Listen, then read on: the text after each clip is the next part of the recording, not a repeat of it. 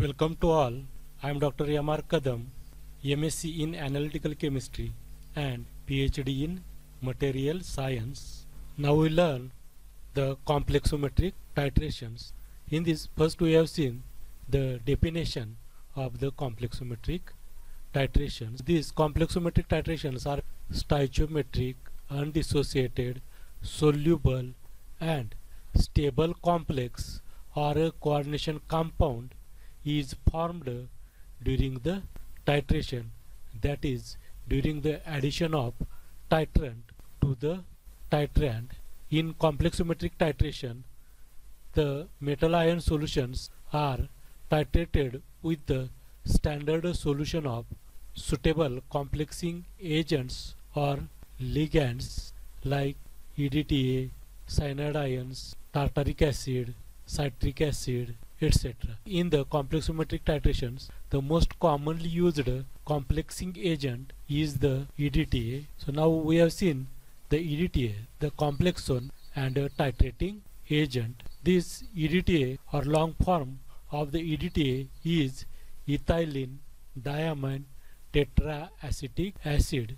It is white crystalline powder and it is soluble in acids and organic solvents while sparingly or very less soluble in water while freely soluble in ammonia and caustic alkalis. So this EDTA is marketed as its disodium salt. It is marketed in the different trade names that is sequestrene in USA, sequestrol in England, complexone third in Switzerland. In India, name used is simply that is ethylene diamine tetraacetic acid and in bracket written disodium salt. This solubility indicates this EDTA is acidic and also polar in nature. Now we learn the structure of EDTA. We know that the long form of the EDTA is ethylene diamine tetraacetic acid. This is the structure. In this structure, these two CH2 groups represents the ethylene and these two nitrogen atoms diamine and these two groups and these two groups represents the tetraacetic acid.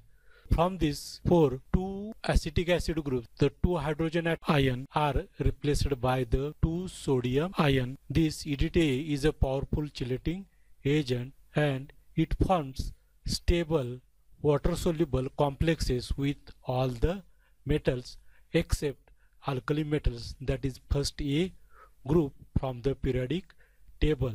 The metals held in 1 as to 1 ratio in the complex having 5 membered rings or the complex structure of the EDTA with metal ion is shown in this figure. This complex consists 5 5 membered rings.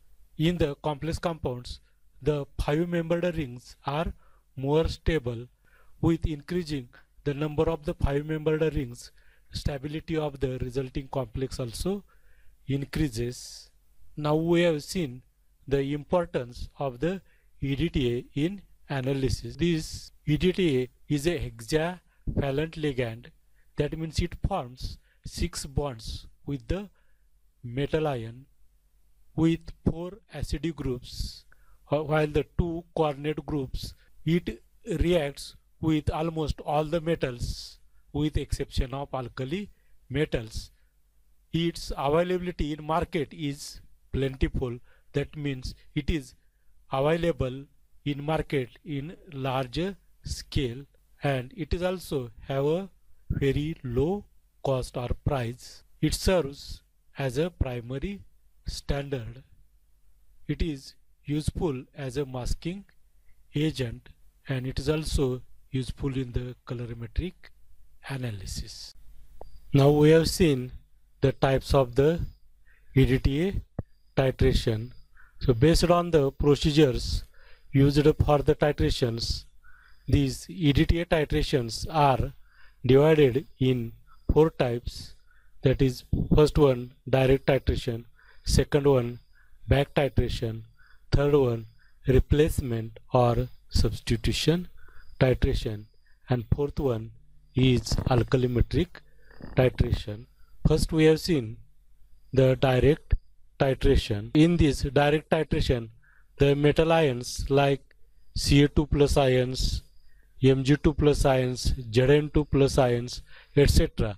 estimated by direct titration with standard solution of EDTA. In this method, metal ion solution is buffered to alkaline pH that is at the pH 10 by using the buffer made from NH4OH and NH4Cl. Then suitable metal ion indicator is added to the ABO solution and during this titration due to the alkaline nature of the solution precipitation of the metal ions maybe takes place as their hydroxides and such type of precipitation is prevented by adding some complexing agents like citrate or tartarate or triethyl amine. Example of this direct titration method is the estimation of Ni by using Murex indicator. The second type of the titration is the back titration. Some metals cannot be titrated directly with the standard solution of the EDTA because some metal ions reacts very slowly with the EDTA. In some cases suitable metal ion indicator is not available and in some cases the metal ions get precipitated from their solutions. Under such conditions, back titration method is used.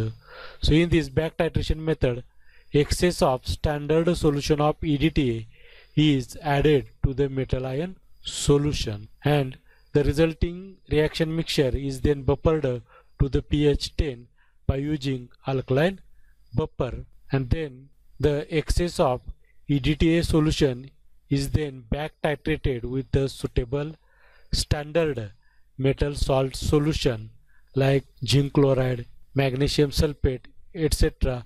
by using suitable metal ion indicator.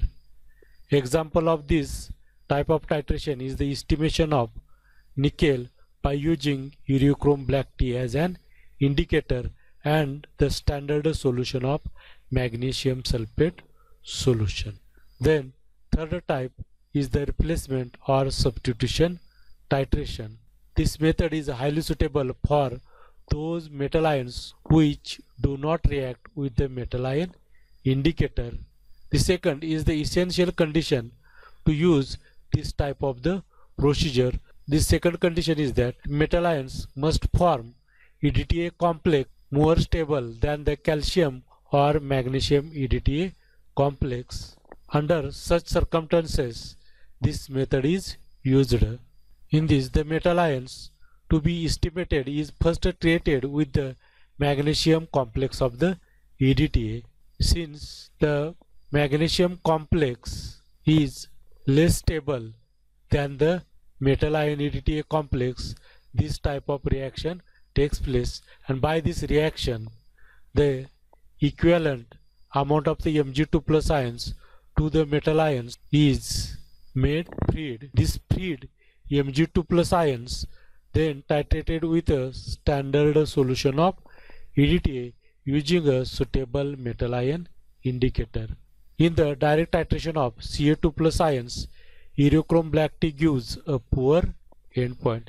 If Mg2 plus ions are present, then they displace from its EDTA complex by the calcium and an improved or accurate endpoint is obtained. Then last one type of the titration is the alkalimetric titration. When the disodium salt of the EDTA is added to the metal ion solution complexes are formed with liberation of two equivalents of the hydrogen ions per metal ion. So that is one metal ion frees 2H plus ions These three H plus ions then titrated with standard solution of NaOH using acid base